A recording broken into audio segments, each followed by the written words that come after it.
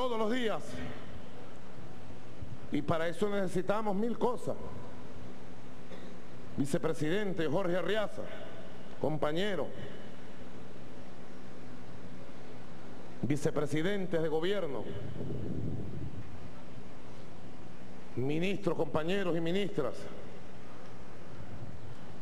Para que no haya más 13, 11, perdón. Necesitamos la máxima eficiencia del gobierno la máxima eficacia política, la máxima calidad revolucionaria, atender los problemas del pueblo, escuchar al pueblo, resolver los problemas.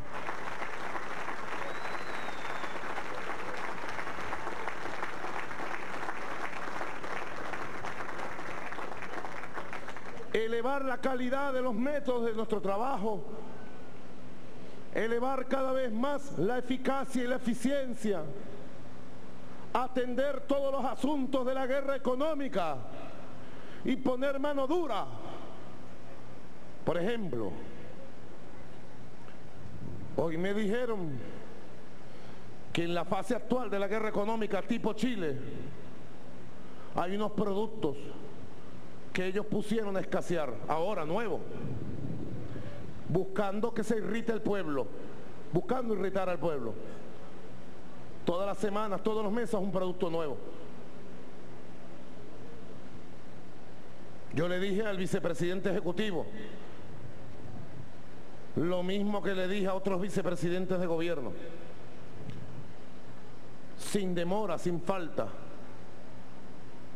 Citen a los empresarios que se le entregaron los dólares para la importación de esos dos productos que no se hacen en Venezuela muy sensibles a la vida adulta, los citan, los investigan, revísenle las cuentas, vayan a los almacenes y si es necesario vamos a detenerlos y entregarlos a la fiscalía porque estoy seguro que están detrás del plan de sabotear a nuestro pueblo.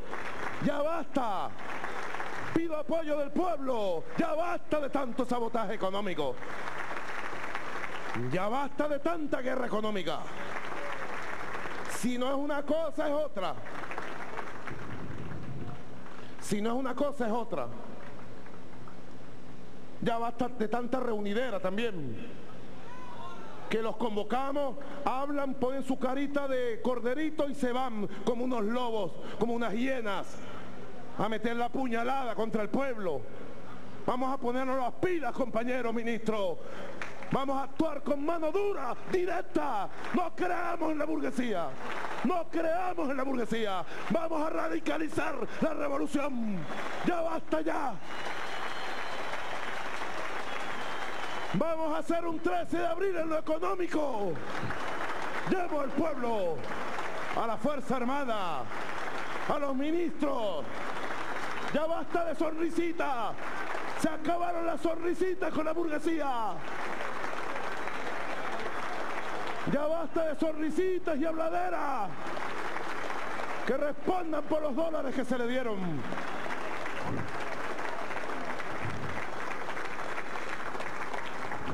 Lo voy a decir más claro. Vengo dispuesto a radicalizar la revolución contra todos los que la sabotean desde lo económico. No me importa el apellido y el nombre que tengan.